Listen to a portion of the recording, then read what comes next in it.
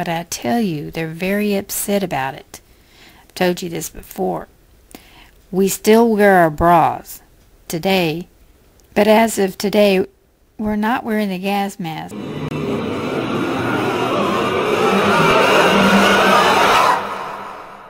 It was an epidemic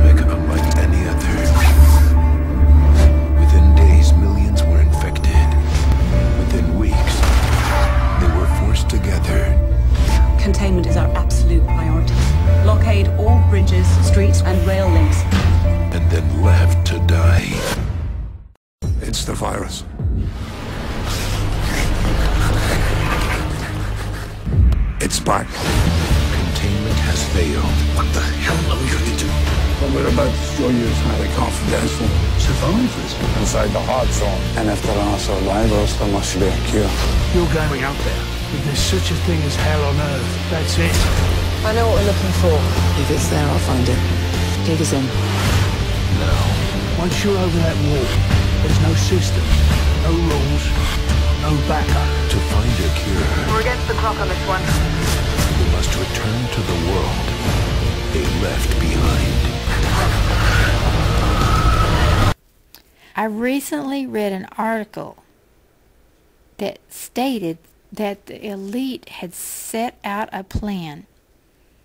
Now, this article didn't have a date on it when it was written, but they had decided to sell seeds that would not reproduce themselves, that had absolutely no nutrient value, and that they would force all farmers to use them.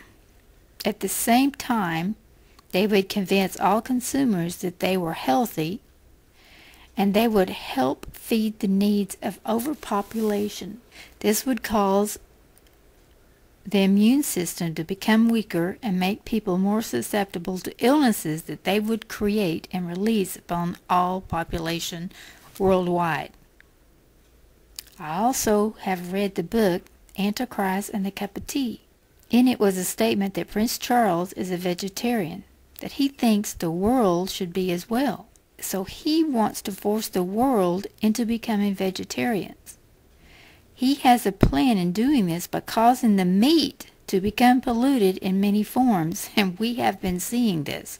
If we would only open our eyes and see what's been going on. He's also for depopulation. So he recommends that all seeds become GMOs. For he only uses non-GMO seeds for himself to maintain his health. They are out to destroy all farmers who do not bow to GMO seeds. In one way or the other, they will stop them from producing.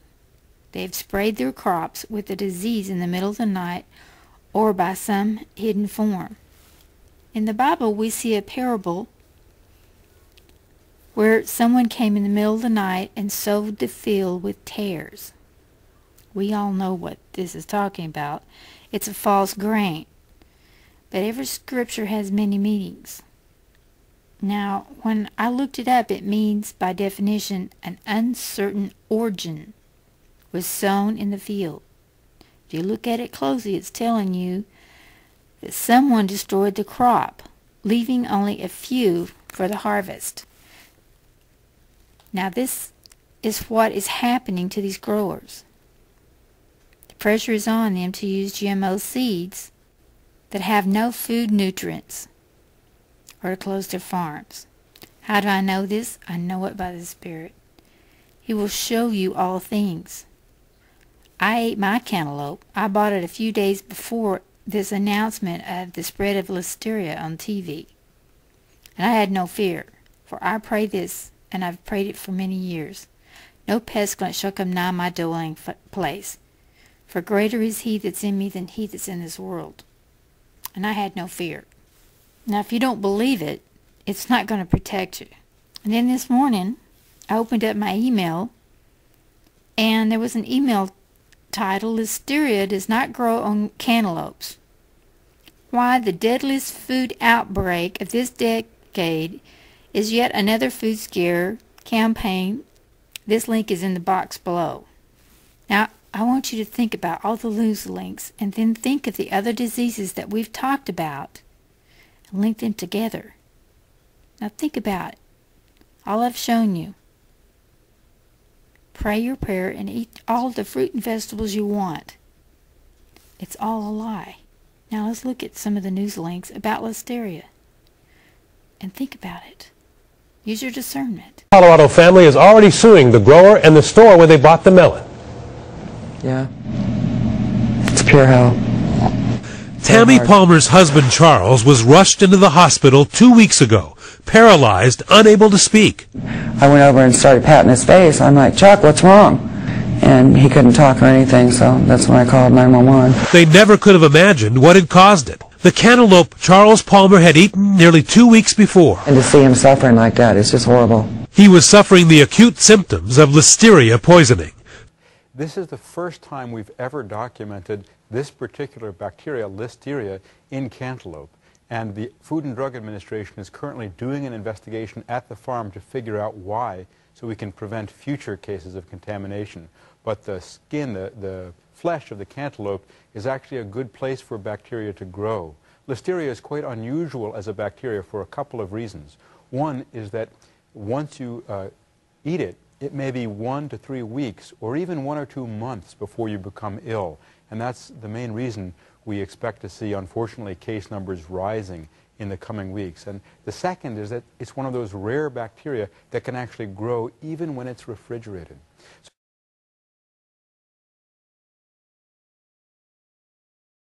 And I was looking on the internet and I found this. European health authorities are leaping on the opportunities to spread fear about organic foods while ignoring the obvious truth cause of contamination in the first place. The widespread abuse of antibiotics in animal farming operations, the E. coli blame game has caused a curious of musical chairs. First, they blame the Spaniards as a form of retaliation of Spain's resistance of accepting the GMOs. This act drove Spanish farmers into bankruptcy through a savage campaign of rumor mongering. After ravaging the Spanish vegetable farmers, they, be they began to randomly instill widespread fear about the variety of vegetables first in its cucumbers, then in their lettuce, and then finally their tomatoes. And now the blame has come full circle and is now beginning to cast upon organic sprouts growers in Germany. What a confirmation! Now a form of MRSA is found in cow's milk and humans' flesh wounds. What a better reason for you to drink fresh milk and eating fresh dairy product if you can find them organic. The link to this is about the MRSA is in the box. Black Death was from 1348 to 1353, and they've been looking for the graves where they had buried them. I looked all this up because I was shown that they took this disease and put it in the fleas, and then they've been planting this in certain areas all over the world after all these years, it's been making a comeback and it's just started to spring up in certain areas in the world. Now, are we stupid? For they've planted it with these fleas. Now, I want you to think about this. If you can't see this with your natural mind, I want you to pray and you will see it in your spiritual mind. You can take your pet out for a walk and you bring it in for a nap and it gives you the black death as you're asleep. What a nice plan they've uh, all cooked up for you. And now there's another disease with your cat. Called cat scratch. You get this from an infected feline from licking you. This can damage your liver, your kidney, or your spleen. I'm just begging you don't sleep with your pets. It's not worth it anymore. Remember I was shown that people will be setting their pets free. It's not because they don't love them. I was first shown it's because they can't afford to feed them. Not only because they don't, because they don't want them to be exterminated. It's not just even that. It's because they're going to be in fear that they're infected with disease and, and they're full of fear. They love them. They don't want to have them exterminated, so they're just going to be setting them free. So they're, you're going to be have wild animals. They're going to become wild, roaming around, full of disease, hungry and they're going to be attacking you. And this is what I've been shown. Remember, I'm not showing you this to cause fear in you in any way. I'm a watchman on the wall showing you what I'm seeing in the spirit.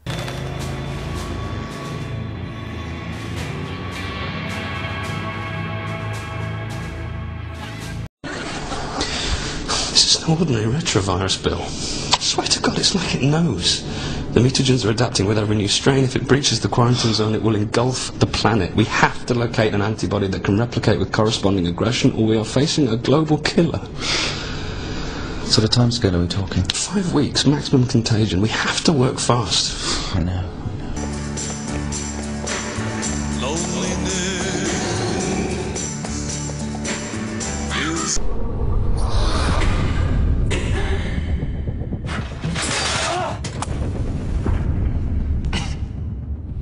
You even know what's going on? I woke up in the hospital. That's all I know. We're seeing on the news some kind of virus. Man, you won't believe the panic. Lori! I had no intentions in this video being this long, but I have so much to share that the Lord has showed me. I'm trying my best to get it all out and share what's on my heart. There's five diseases still yet that I want to, and I'm just going to give the link at the bottom. Um, there's five diseases that people have been sending me links to for several months and I didn't understand what they were showing me, but they kept telling me in Canada and in Mexico that there were people that were acting like zombies, and I was like, okay, you people have freaked me out. Now I'm not going to watch those videos, but I'm telling you, it's real. This is Flight Engineer Lieutenant Brian Murphy. Can anyone hear me?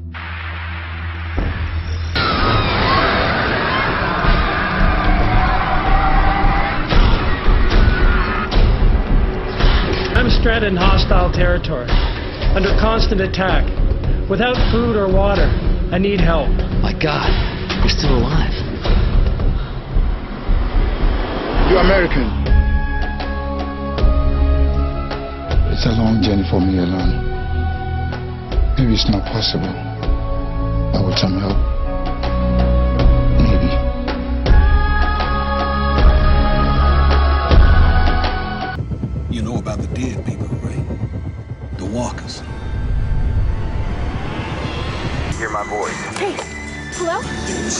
just outside the city. Hello? Damn it. We ought to warn people away from the city. Folks got no idea what they're getting into. We are so in the end times, and I know that there's many of you out there that are messaging me that don't want to hear this, but I'm telling you, the Lord is coming. I'm just going to put the link at the bottom. I've done the research for you. but I just need you to read the links. This video, I just keep going. Because I have some more to show you. I have some more clips to share with you.